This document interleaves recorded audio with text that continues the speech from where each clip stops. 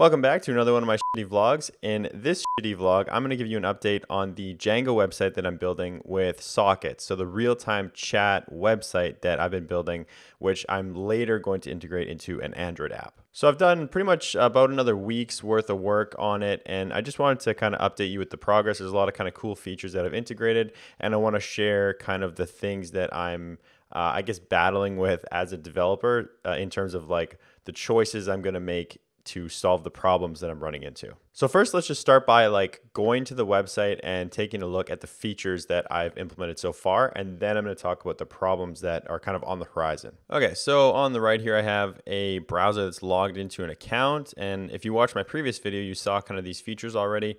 So I can, you know, log out. I'll just show you what it looks like to log out. I could register a new account. I could log in. I'm just going to log in with my account. And then that gives me access to the website. I can go to my account by clicking here. It shows some information. You should have already seen all of this. I can update this account by clicking update. You know, I could choose a new photo. So if I click here, click one of these, I could I could crop this image and select it if I wanted to. Uh, one feature that wasn't here last time you watched was this hide email feature. So if I was to click this on, when other users visit my profile, they can't see my email. So this will be hidden from them. And I'll show you what I mean. So I'll go over to the browser over here and just search for Mitch. This is actually a new feature, also this search feature.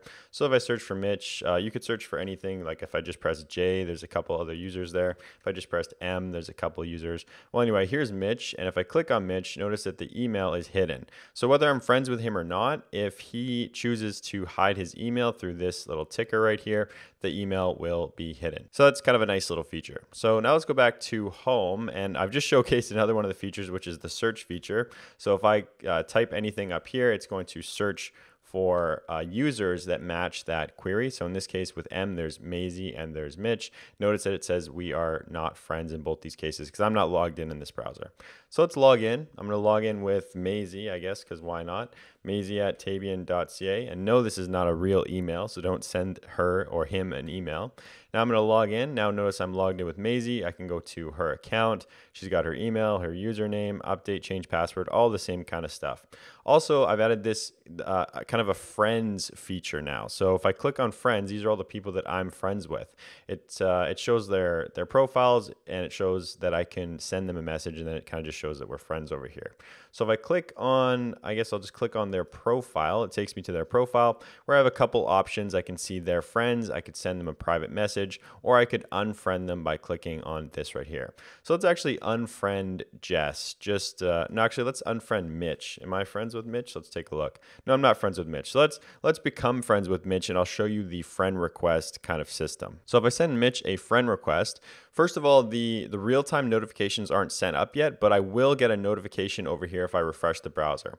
So notice if I refresh, there we go. It says Maisie sent you a friend request and I can either accept or decline. And it shows how long ago this, this uh, I got this request. So I guess this is actually a good opportunity to talk about the, the next hurdle in development that I've been thinking about. And I've thought a lot about this and I think I've come up with a good way, but I still definitely got to test this. So the, the hurdle here is notification. So I've built the notification system as you saw.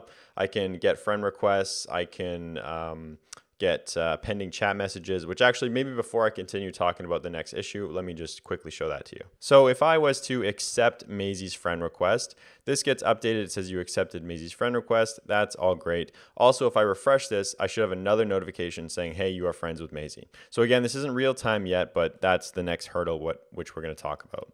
So if I refresh this, it'll say this view is now changed because now we're friends and I can send Mitch a message. So let's see what happens when I send Mitch a message. So this will open up a chat between Mitch and Maisie, a private chat. So there's some other chat messages from when I was testing before, but uh, let's let's send some new ones. So notice, just pay attention that Mitch is not connected to this chat right now. He's not viewing the socket currently. So if I was to just type hey from Maisie, uh, and then go over to Mitch's browser over here and refresh it, notice there we go, we get a new notification from Maisie and there's the message and it says, hey. So let's send another one. This is another message and I send that from Maisie. If I now refresh the browser, there it's now showing the most current, the most current message that I've received from Maisie. So this is, uh, this is the real-time chat feature. Now if I was to click on this, it takes me to the chat with Maisie, this private chat. It says Mitch is connected and I can say, hey Maisie, uh, you know, I'm now in the chat and then Maisie knows. Cool, you're in.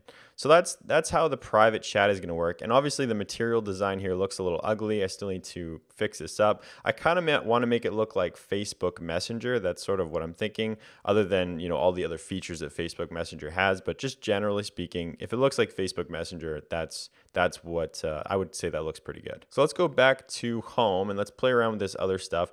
Also notice the chat notifications disappear after the user reads them. So because Mitch joined the chat room, read the message, there's no more pending uh, pending messages, so it gets removed as a notification.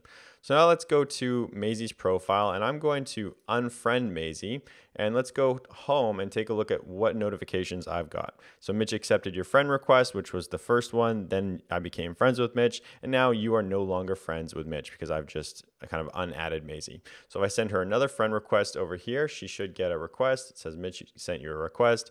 I could also cancel this from Mitch's end. So if I went to, I could cancel it here uh, like this. And if I refresh this, that notification will go away.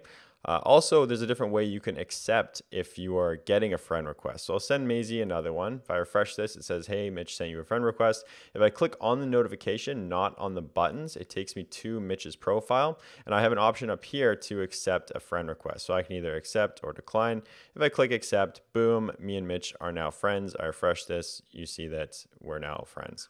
So now, as I said, this the next kind of thing that I'm going to be battling with is the real-time feel of the notification. So I can send requests, I can accept them, I can decline them, I can cancel them, I can open up a private chat between another user, I can send the messages. If they don't see them, they will get a, a, a notification saying, "Hey, there's some messages, a new message basically, and it shows the most recent one. So there's a lot of things here. Uh, you can also search for users, view their profiles, uh, all that kind of stuff. So anyway, next thing is the real-time uh, real-time notification. So how how are we going to do this? Now I've I've thought a lot about this, and I think there's basically kind of two major ways that I could go about this, or two good options.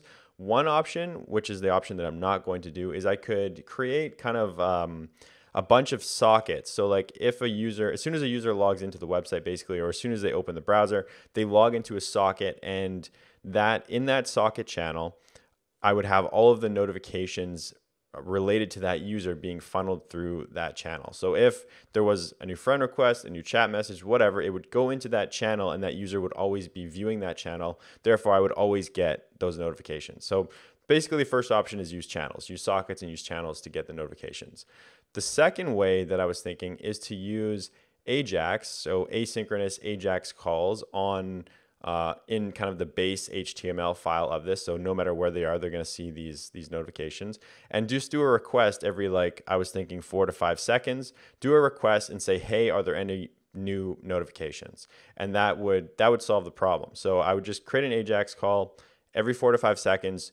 Do that AJAX call on a loop. So as, as long as the browser is open, keep doing that call get those notifications and then display them in the top bar, kind of like Facebook does. So in Facebook, you know, at the top kind of right, there's uh, a notification section. It says like a little red number if you have like new messages or new notifications. I would do the same kind of thing. So I would have an Ajax call every four to five seconds, say, hey, database, is there any new notifications for this user? If there is, increment the number. And then if they click on it, they get taken to either the notification page or they'll get kind of like a, a pull out on the page like Facebook does. I'll probably end up doing that. And then it shows uh, the notifications in, in a list.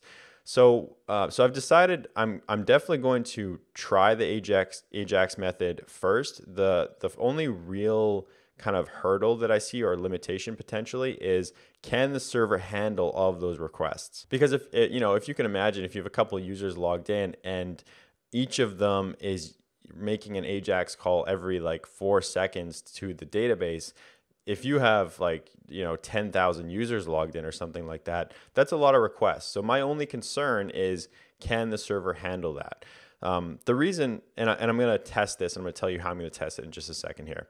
Now, the reason I chose, or I'm going to go down the Ajax route first and kind of only use the socket way if I absolutely have to, is because I'm not really sure that the server could handle all those open sockets either. Like, you know, same scenario, say you have 10,000 users signed in, each of them has an open connection to their you know their notification channel i guess you could say that would probably be pretty hard on the server too.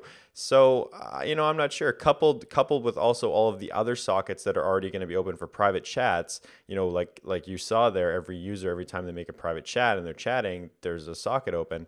You know, I'm not really sure what the server overhead there is like either, but I, have a I have an inclination that the, that the socket method is going to be much harder on the server than the you know an Ajax call every four seconds. So what I'm going to do to test this is I'm going to do go down the Ajax route first of all, and I'm going to make a I'm gonna I'm gonna kind of push my server really hard and see how it handles it. So what I'll do is I'll probably make an I'll I'll write like a, a script that makes an Ajax call every I don't know 20 milliseconds. I'll, I'll make it shorter if the Ajax call can successfully uh, make make the call and return in that amount of time. I'll make it 10 milliseconds if I can. I think I said 20 seconds. I meant 20 milliseconds if I said that. So every 20 mil- milliseconds, make an Ajax call, get the notifications, update the UI. And what I'll do is I'll up I'll open like, you know, 20 or more tabs or something like that and I'll just see how the server handles it. And like I said, if I can decrease that time uh, from 20 milliseconds to 10 milliseconds and still have the call go successfully through i'll do that. And that should give me a lot of that should give me a lot of uh, requests and that should really that would that would test the server. So if i was doing one every you know 20 milliseconds say that would be five every 100 milliseconds so 50 every second. So 50 requests every second per tab that i have open. So if i open 20 tabs i would be doing uh, 50 times 20, whatever that is. 50 times 2 is 100 times 10. So that's uh, 100 times 10. That's a 1,000 requests a second. I just stopped and used my calculator to make sure I didn't screw that math up. That was right. So that, that would be a 1,000 requests a second. So it's still actually a little low. Um, so what I would do in that case is just try and like decrease the amount of time between the requests. Whatever whatever it would take, like I would try and get the requests up to like uh, uh, well, a thousand a second isn't bad because if I'm making the request, if I, in production I'm going to do it once every four seconds, that would be uh, that would be equivalent to 4,000 every four seconds. So if I could just double that, like if I could get the milliseconds from 20 milliseconds to 10, do that, that would give me 8,000 requests every four seconds, which is a, I mean, that's a pretty good test. Like if you have, if you have a server up and you have 8,000 users at once, actively interacting with your website like that's that's insane. That's a pretty good load. So I, I think at that point you would be able to like sit down and reassess things and say okay how can we optimize this? So i think you know that's a, this is a good that would be a good amount to get your website started. Very few people probably none of you who are watching right now definitely not me have ever have a, had a website where you would have you know a thousand or two thousand users making requests every second. That would you'd have you'd be a very happy happy person. So yeah, that's pretty much the progress that i have right now. That's the stuff that i'm dealing with. That's just the problems that i'm going to be kind of working at uh, you know today and probably early next week. And then once everything is working and everything is in order i will start building the android app to basically do everything that the that you can do on the website but on the app. And you know of course i'm going to be uh, catering this to like how long I want the course to be. But as of right now, I have a I have a pretty good. I think I could get all of the features at the website on onto the app in like a decent amount of time. Um, and then and then I'll make I'll start making the course for the website and I'll start and then probably produce that, get that out, and then I'll make the course for the Android app. So again, I guess just to summarize, I'll, I'll share, I don't know if, you know, you might have not watched my previous video where I talked about the technologies that I'm using to build these things. Uh, so I'll just kind of quickly uh, give kind of some stats for all of you nerds out there who want to know what technologies I'm going to be using. So I'm going to be using Django for the web development. That's the web development framework for Python. That's my favorite kind of web development tool. That's how I built my website. That's how I would build any website today. I'm going to use Django channels for the sockets, uh, Bootstrap for the material design, design, uh, pretty straightforward stuff for the website. I got a couple third-party libraries on the website for like cropping images, but nothing nothing major. Everything's pretty much just I built using Bootstrap, material design, all that kind of stuff. Um, on the server side, when we put this into production, I'm going to be using Postgres, a Postgres database going to be using DigitalOcean to host it, going to be using Redis to facilitate the socket connections with Django. You have to use Redis.